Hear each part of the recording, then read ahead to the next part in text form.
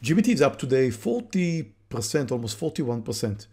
It consolidates nicely. It tried to move lower and failed. Now it's getting back to the whole number.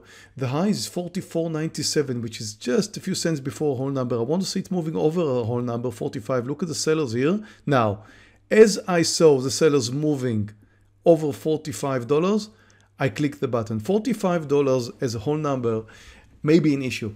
It didn't quite stop it now, as you can see. It moved really quick over the 45, but it has been stopped there before. Look at the consolidation here. Look at how many times it was stopped just below the $45 mark. Now, I was risking here a little bit more than a dollar, meaning moved up over $45 and the stop would have probably been at 44 or so or just below.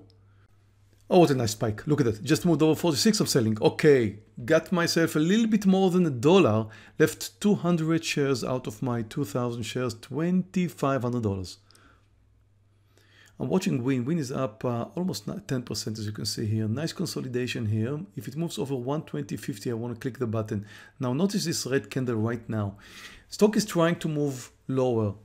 Now it may, it may succeed. I don't know. But if it's going to fail move lower, I want to buy it at 120.50, just above 120.50. Now 0.50 is what we call a semi-whole number. Earlier we've seen a whole number, now look at it, it's getting close. If it's going to move over 120.50, I want to go. That means it failed to move lower. You see it had several opportunities to move lower and it failed. Failure is the two red candles that you're seeing here. Now if it's going to move over 120.50, I want to go long and it just did, but I missed it. I missed it. If it's going to come down, I'm going to buy. And it does come down. I'm about to go long, going long now. Never chase a stock up. It just moved over 121. I did not click the button. I finally did as it moved down a little bit, which is very, very normal. Stocks usually do that once, once they go through. But um, a quick pullback just got me into this trade. So again, never chase a stock as it's moving away from you. If you miss the opportunity, just wait patiently. If it comes back down, that's great. If it doesn't, there's nothing you can do. You just have to wait. And now it's making quite a nice move. Look at LVS. Now LVS is a sister company of Wynn, Wynn Resorts. All of them, of course, Las Vegas companies, uh, casinos. So here we go, getting close to my target, getting ready to sell 300 shares, moving to market orders. That will be quicker. Don't want to see any pullback. Good. Now, I think I got like uh, one and a half point. That was a lovely trade. Disc. Disc is trending low. Stock is down 6%. Now, as you can notice, I'm, I'm, I'm trying to buy stocks that are up 40%, up 9%, down 6%. These are big movers. I'm getting ready to short, shorting now. I'm short 2,000 shares in disc. The trend is very, very clear. Stock is trending lower. Stop is should be here, 26.31. I don't I don't give it much. This is not going anywhere. As you can see here, this is where I moved in, but it's really just going sideways. There's no reason to hold to a stock that is going sideways. Therefore, I am just about to lower my size. I'm going to lower it by 1,000 shares.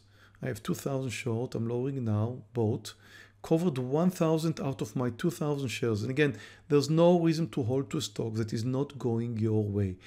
This going sideways, I'm lowering my size. Maybe I, maybe I should leave it altogether. MAR looks great. Look at this 118 points. Stock is up 2.4%. And if it's going to move over this area right here, I want to go long. Stock certainly tried to move lower several times, failed returning and returning and I'm just about to go long if it moves over 118 getting ready. I'm going to go long 600 shares. I like the technical formation here but I need to wait until it comes over 118 it's getting close. Watch the seller sides right now 117.94 96 and 18 click that button. Once it moved over 18 you want to make sure it's moving over whole number. MAR did a very nice job. Bought it just over 118 it's at 118.70 something right now. I'm getting ready for my partial. Any pullback now? Well, I could probably get a little bit more out of that, but still was a nice trade, leaving 100 shares. BZUN, I want to go long, and again, stock is up almost 7%. Now, nice consolidation here. It's not a big mover. Actually, could be a big mover. I'm getting ready to go long 600 shares. Notice I'm lowering my size. I started with a great trade today and I'm not ready to give back my money to the market. So if BZUN is going to move here over 37.70, I want to go long. It's getting close now.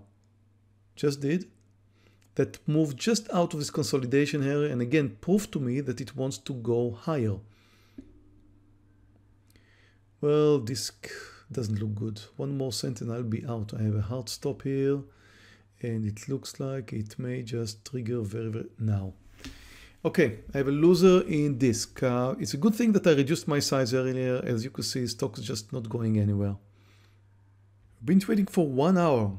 I just opened a trade in BZUN, which is down to $80. Disk was down and several winners. GBT, $2,300, MAR, WYNN, all nice trades. A little bit more winners and loser up $2,000 in less than an hour. Thank you for watching our video.